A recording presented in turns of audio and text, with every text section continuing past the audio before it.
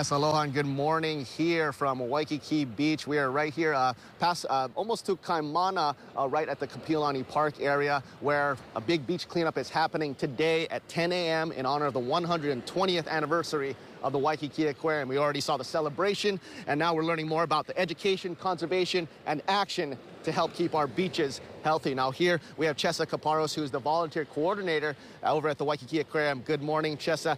Tell me how important these beach cleanups are to the health of our beaches.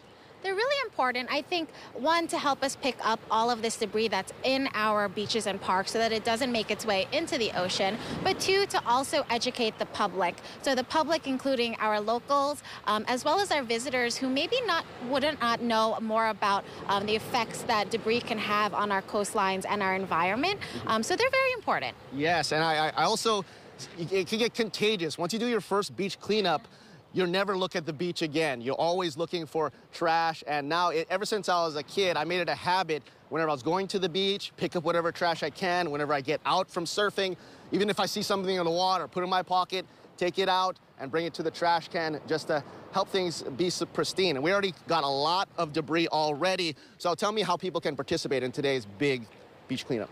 So you can go on our website, waikikiaquarium.org, to register online. Um, today we are taking walk-ins though, so if you are available, you can head over to the Waikiki Aquarium and join us. Yes, that sounds good. Also, Chessa, what also concerns me, and I know that's uh, for pollution as well, there's not as much beach that I remember as a kid, and uh, that almost helps with the trash getting into the ocean a little bit better, which is not a good thing.